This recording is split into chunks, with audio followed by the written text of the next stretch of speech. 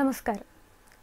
കേരളത്തിലെ പെൺകുട്ടികളെ കടത്തിക്കൊണ്ടുപോയി മതം മാറ്റുകയും അവരെ പുറം ലോകം കാണാൻ അനുവദിക്കാതെ മതതീവ്രവാദികളാക്കി മാറ്റിയെടുക്കുകയും ചെയ്യുന്ന വാർത്ത നമ്മൾ കാണുന്നതാണ്.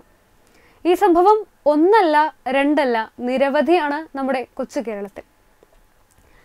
കേരളത്തിൽ നിന്ന് ഇത്തരത്തിൽ കാണാതായ പെൺകുട്ടികളുടെ കഥ പ്രമേയമാക്കി ഒരുക്കുന്ന ചിത്രമാണ് ദി കേരള സ്റ്റോറി. ചിത്രത്തിന്റെ ടീസർ അണിയറ പ്രവർത്തകർ പുറത്തിറക്കിയിരുന്നു.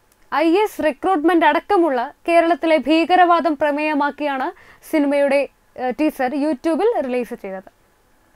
ഒരു മിനിറ്റ് പത്തൊൻപത് സെക്കൻഡ് ദൈർഘ്യമുള്ളതാണ് ടീസർ.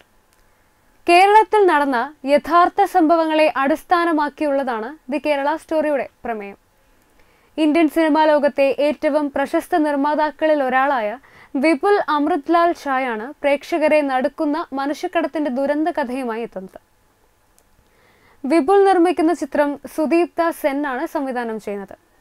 കേരളത്തിൽ നിന്നുള്ള സ്ത്രീകളെ കടത്തിക്കൊണ്ടുപോയി മതം മാറ്റുകയും ഭീകരവാദ ക്യാമ്പുകളിൽ എത്തിക്കുകയും ചെയ്യുന്നതായുള്ള വാർത്തകളുടെ പശ്ചാത്തലത്തിലാണ് സിനിമ പിറക്കുന്നത്.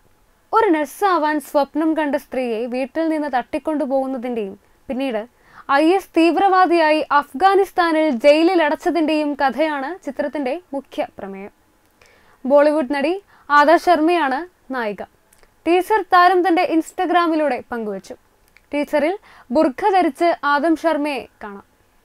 ഏറെ സെൻസിറ്റീവായ ഇത്തരം വിഷയങ്ങളിൽ നിന്ന് ഭൂരിഭാഗം നിർമ്മാതാക്കളും സംവിധായകരും പിന്മാറുമ്പോൾ നിർമ്മാതാവ് വിപുൽ അമൃത് ലാൽ ഷാ തന്റെ നാല് വർഷത്തെ വിപുലവും ആഴത്തിലുള്ളതുമായ ഗവേഷണത്തിലൂടെ ഈ ഭയാനകമായ കഥ ബിഗ് സ്ക്രീനിലേക്ക് കൊണ്ടുവരാൻ തീരുമാനിക്കുകയായിരുന്നു.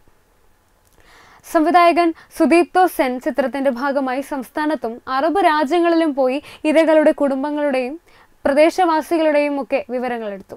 ചിത്രത്തിന്റെ ആദ്യ യോഗത്തിൽ തന്നെ താൻ കരയുകയായിരുന്നുവെന്നാണ് വിപുൽ ഒരിക്കൽ പറഞ്ഞിരുന്നു ദൈവത്തിന്റെ സ്വന്തം നാട് എന്നറിയപ്പെടുന്ന രാജ്യത്തെ ഏറ്റവും സുന്ദരമായ സംസ്ഥാനത്ത് തീവ്രവാദ സംഘടനകൾ നടത്തുന്ന പെൺവാണിഭത്തിന്റെ ഹൃദയഭേദകവും ഞെട്ടിക്കുന്നതുമായ കഥയാണ് ദ കേരള സ്റ്റോറി പറയുന്നത്.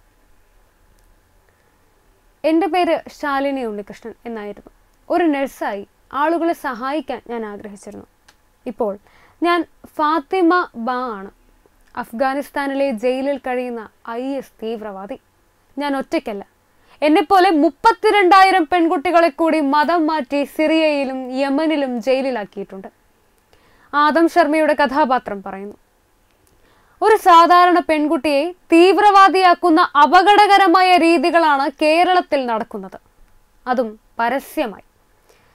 ആരും തടയില്ല. ഇത് എന്റെ കഥയാണ്. ആ മുപ്പത്തിരണ്ടായിരം പെൺകുട്ടികളുടെ കൂടി കഥയാണ്. ഇതാണ് ദി കേരള സ്റ്റോറി. ആദം ശർമ്മയുടെ കഥാപാത്രം പറയുന്നു. സിനിമയുടെ ടീസർ ഇതിനോടകം തന്നെ ലക്ഷക്കണക്കിന് പ്രേക്ഷകരാണ് കണ്ടത്. കേരളത്തിൽ നടക്കുന്ന ഞെട്ടിക്കുന്ന പെൺവാണിഭത്തിന്റെ കഥയാണ് ദ കേരള സ്റ്റോറി പുറത്തു കൊണ്ടുവരുന്നത്. Web desk Tathwamayi news. Powered by Demos furniture ലോകോത്തര ഫർണിച്ചറുകളുടെ വമ്പൻ അൺലോക്ക്